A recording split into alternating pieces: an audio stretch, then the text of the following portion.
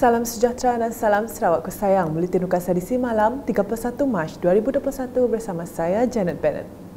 Berita utama, kerajaan negeri menggalakkan lebih ramai graduan yang melanjutkan pengajian mereka di luar negara untuk kembali berkhidmat di negeri ini. Ketua Menteri Sarawak Datuk Petinggi Dr. Abang Abdul Rahman Zuhari Tun Datuk Abang Openg berkata, kerajaan negeri bagaimanapun tidak menghalang penuntut dari Sarawak melanjutkan pengajian ke luar negara kerana ia membantu memperluaskan lagi pengetahuan dan kepakaran mereka.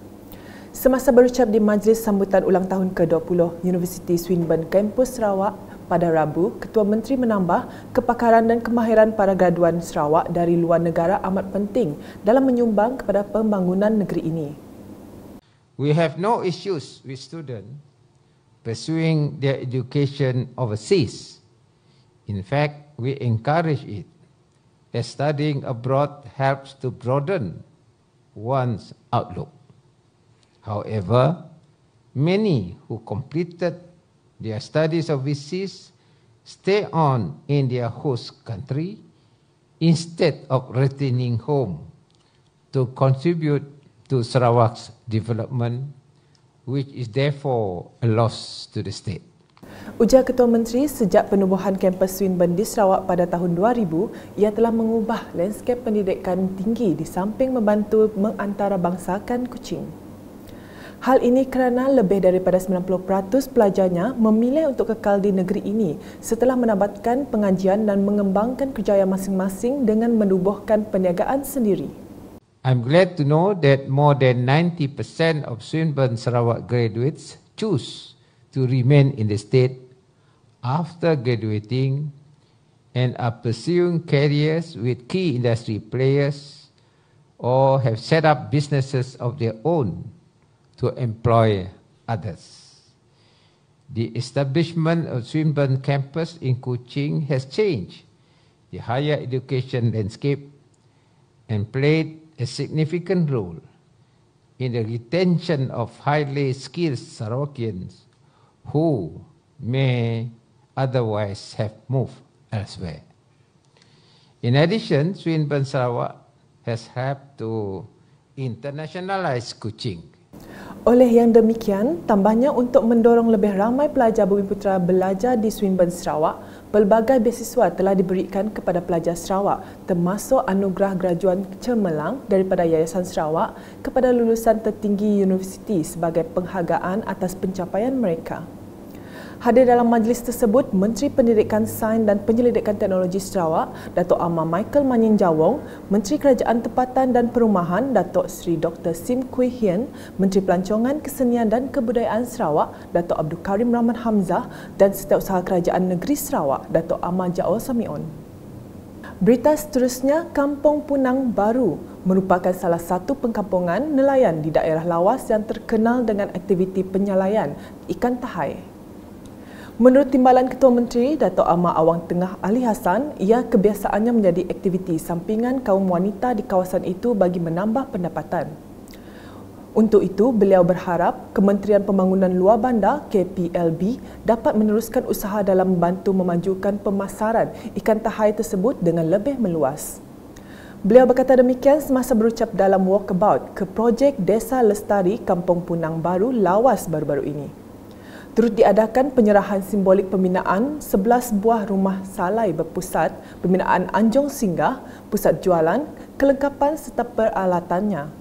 Terdahulu berucap sama Menteri Pembangunan Luar Bandar Malaysia Datuk Dr. Abdul Latif Ahmad berkata, pembinaan 11 rumah tahai oleh pihaknya itu adalah sebagai sokongan kepada penduduk Kampung Punang dan beliau akan memaklumkan kepada Lembaga Kemajuan Ikan Malaysia LKIM berkenaan keperluan dan input pemasaran produk ikan tahai tersebut.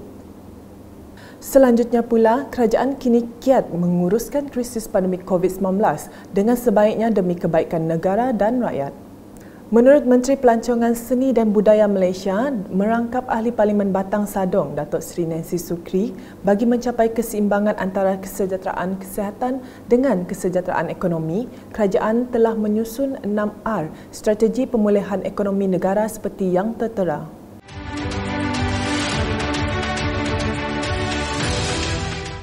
Berucap dalam program Malaysia Prihatin di Kota Semarahan pada Selasa, ujarnya lagi dalam setiap fasa 6R ini, kerajaan telah hadir dengan pelbagai pelan tindakan untuk melengkapi strategi pelancaran beberapa pakej rangsangan ekonomi seperti Prihatin PKS, Penjana dan Permekasa.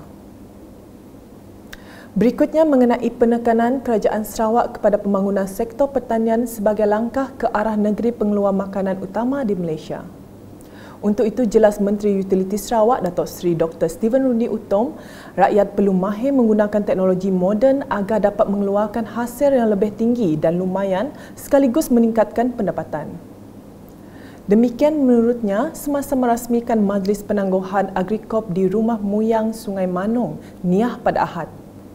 Di majlis itu, beliau yang juga ahli Dewan Undangan Negeri Adun Kemena turut menyampaikan bantuan projek kecil luar bandar MRP berjumlah RM30,000 kepada Jawatan Kuasa Kemajuan dan Keselamatan Kampung JKKK Rumah Muyang dan RM10,000 kepada Biro Wanita Rumah Muyang. Dalam perkembangan lain, Datuk Seri Dr. Steven Rudy Utom telah mengadakan lawatan ke tapak projek menaik taraf Jalan Lembong Suai sepanjang 9 km bernilai lebih 3.59 juta ringgit yang kini mencapai 44.62% siap. Turut dilawat projek menaik taraf Jalan Boniface Bada ke rumah Webstar fasa 2 sepanjang 3 km bernilai lebih 1.89 juta ringgit. Kedua-dua projek yang akan dihubungkan ke Jalan Pen Borneo itu telah bermula pada 1 Oktober 2020 dan dijangka siap pada 31 Mei ini. Menurut Adun Kemena itu, apabila siapnya projek itu nanti, ia akan memendekkan jarak serta masa penduduk rumah panjang untuk keluar ke bandar. Laporan di Serian, Kerajaan Sarawak dan Kerajaan Persekutuan komited untuk memastikan penduduk di bahagian itu mempunyai infrastruktur bekalan air bersih yang lebih baik.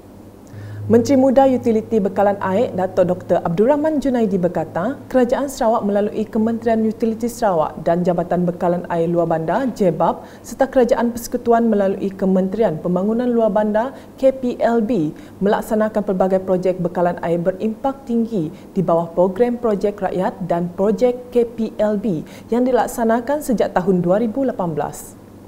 Selepas melawat tapak projek bekalan air bahagian Serian pada Selasa, beliau memberitahu sebanyak 8 projek rakyat bernilai sekitar 100 juta ringgit dibiayai sepenuhnya oleh kerajaan negeri, manakala dua projek KPLB bernilai sekitar 117 juta ringgit dibiayai oleh kerajaan persekutuan. Pada tahun 2018 hingga pada KD, uh, banyak projek yang telah pun dilaksanakan dan uh, jumlah kos sebanyak 223 juta ringgit. Ini adalah gabungan daripada projek uh, kerajaan negeri dan juga projek dan bila lebih adalah projek kerajaan negeri terutamanya projek rakyat.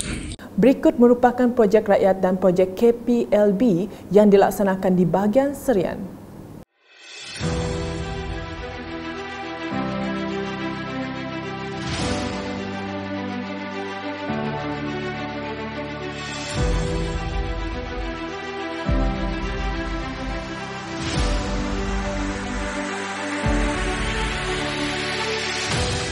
Turut sama dalam lawatan itu Adun Kedup John Ilus serta Adun Bukit Semuja Martin Ben. Beralih ke laporan di Kampung Landeh, Kota Padawan, prihatin dengan nasib sebuah keluarga yang dikuarantin di situ, Adun Batu Kitang Lo Keciang dan pengurusi Persatuan Penggerak Kemajuan Kota Padawan dan JKKK Kampung Landeh, Ebert Lee Juhi, telah menyerahkan bantuan makanan kepada keluarga terbabit.